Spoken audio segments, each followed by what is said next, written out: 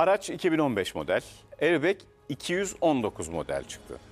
Bu İstanbul'da yeni bir araç satın alan kişinin başına geldi.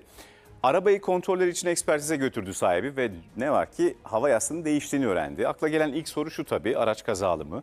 İşin aslı herkesi çok şaşırttı. Airbag kontrolü yaptığımızda aracımız 2015 model, direksiyon 2015. Airbag değişmiş 2019 model airbag takmışlar abi arabaya. Ne kazası vardı ne de değişen parçası. Alacağı aracı ekspertize soktu, hava yastığının değiştiğini öğrenince şoke oldu. Bilginiz olsun abi. Yani hatasız boyasız dediğimiz araçta bile airbag patlak olabilir. Yeni bir araç almak isteyen bir kişi aracını Güngören'deki bir ekspertiz firmasına getirdi ve aracın kontrolleri yapılırken aracın airbaglerinin daha önce değişmiş olduğunu öğrendi. Alıcının aklına gelen ilk soruysa acaba araba kazalı mı oldu? Ancak durum düşündüğünden çok daha başkaydı. Airbag kontrolü yaptığımızda aracımız 2015 model, direksiyon 2015. Airbag değişmiş 2019 model airbag takmışlar abi arabaya.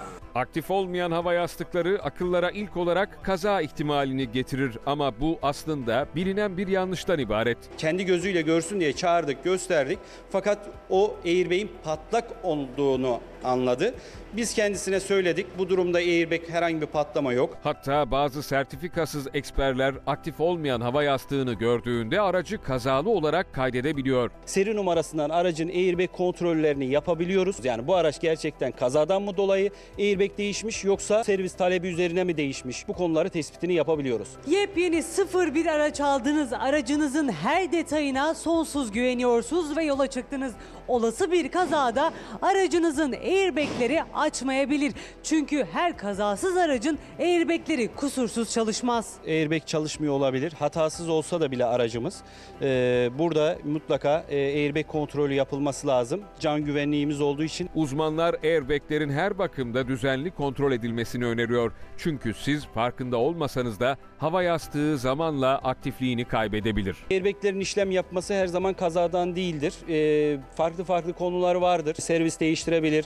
Ee, airbag çalınmıştır veya e, sinirlenmiştir, yumruk atmıştır, patlamıştır, yırtılmıştır, e, deformasyon görmüştür. Ondan dolayı değişmiş olabilir.